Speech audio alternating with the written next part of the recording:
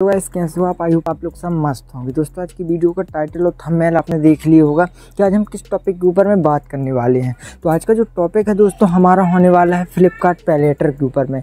थोड़ा सा जल्दी वीडियो लेकर आया हूँ, क्योंकि अभी कुछ दिनों पहले ही मैंने एक फ्लिपकार्ट पैलेटर के ऊपर एक वीडियो अपलोड की है, जिसको शायद आपने वॉच भी किया होगा। लेकिन आज जो है बहुत ही इंपॉर्टेंट बात है, यहाँ पर मैं आपको सजेस्ट करने वाला हूँ कि यदि आपका फ्लिपकार्ट पैलेटर अभी तक एक्टिवेट नहीं हुआ, यानी कि अभी तक आप डिजिबल नहीं हुए, अभी तक आप अपना फ्लिपकार्ट पैलेटर को यूज़ नहीं कर पा रहे तो आज की वीडियो यदि आप लोग पूरा देख लेते हो तो यकीनन मानिए कि आप जो है अपने पैलेटर को एक्टिवेट करना मदद मिलने वाली है। तो चलिए आज की वीडियो बिना टाइम वेस्ट किए स्टार्ट करेंगे। तो सबसे पहले देखिए, मैंने यहाँ से फ्लिपकार्ट एप्लीकेशन ओपन कर लिया है। फ्लिपकार्ट एप्लीकेशन ओपन करने के बाद आप सभी के सामने कुछ इस प्रकार का इंटरफेस ओपन हो जाता है। यदि दोस्तों, देखिए, मेरा जो है सब्सक्राइब बेस छः हज़ार है, आप खुद देख सकते हैं मेरे चैनल पर। यदि आप लोग मेरे पुराने व्यूवर हैं तो आपको पता होगा कि मैंने भी कितनी प्रॉब्लमों से जो है अपने फ्लिपकार्ट पैलेटर को एक्टिवेट कराया है।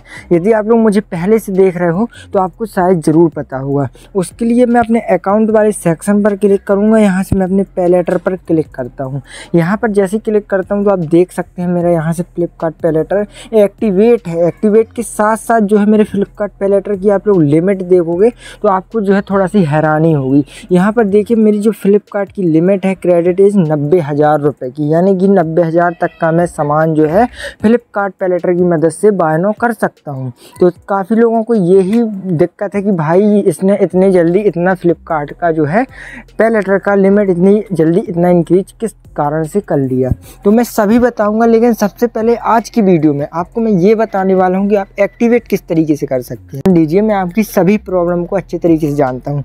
आप लोग जो है अभी अभी फ्लिपकार्ट फ्लिपकार्ट पर आए हो अभी अभी आपने शॉपिंग करना स्टार्ट की है, कोई बात नहीं। आपको थोड़ा सा यहाँ से टाइम देना है, यानी कि आपको शॉपिंग रेगुलर करना है। शॉपिंग कैसे करना है? देखिए ऑर्डर आपको नहीं भी करना, आपको शॉपिंग नहीं भी करना तो आप शहर, गाँव में रहते होंगे, आपका कोई भी मोहल्ले पड़ोस का व्यक्ति जो है ऑनलाइन से शॉपिंग करने को कहता ही होगा, बोलता ही होगा या करता ही होगा।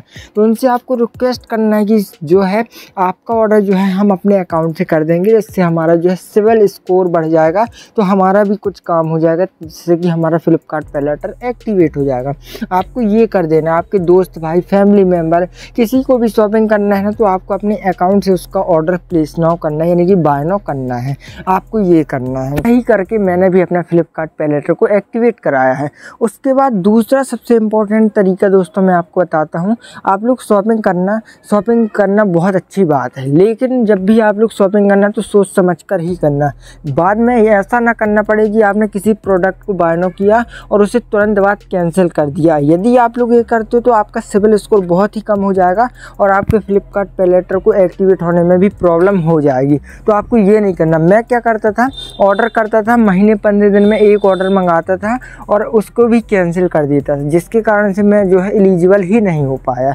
आपको ये करना है। और दूसरी बात, आप 18 एज से ऊपर होने चाहिए। जब भी आपका पैन कार्ड वगैरह जब लगेगा तो उस पर अठारह एज माँगता है। ये जो है फ्लिपकार्ट पर लोन जो प्रोवाइड करती है, वो आईडीएफसी बैंक लोन प्रोवाइड करती है फ्लिपकार्ट पैलेटर को।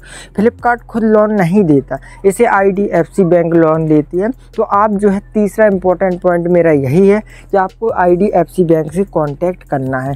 कॉन्टैक्ट कैसे किया जाता है, आप सोच पे पड़ गए होंगे कि हम किस तरीके से उनसे कॉन्टैक्ट कर सकते हैं। तो घबराने की बात नहीं है, मैंने ऑलरेडी वीडियो बनाई है।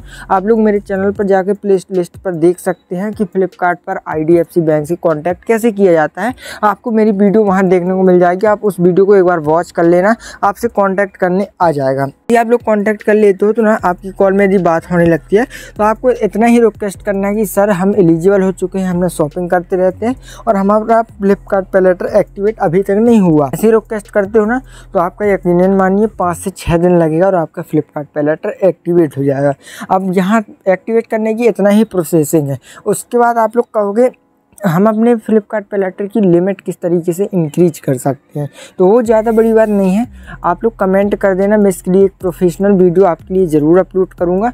तो आप लोगों को थोड़ा वेट करना है कमेंट करना कि ये वीडियो आप देखना चाहते हैं नहीं। तो आई होप जो मैंने इस वीडियो पर आपको बताया, समझाया, आपको समझ पर आ गया होगा। यदि इस वीडियो से आपको थोड़ा सा कुछ हेल्प मिली हो, या जानकारी अच्छी लगी हो तो प्लीज़ इस वीडियो को लाइक करना चैनल को सब्सक्राइब करना, क्योंकि ऐसा कॉन्टेंट ऐसी वीडियो आपको हमारे चैनल पर ही देखने को मिल जाती है। तो चलिए इस वीडियो पर तो इतना ही मिलता है किसी नेक्स्ट इंटरेस्टिंग वीडियो पर, तब तक के लिए जय हिंद, जय भारत।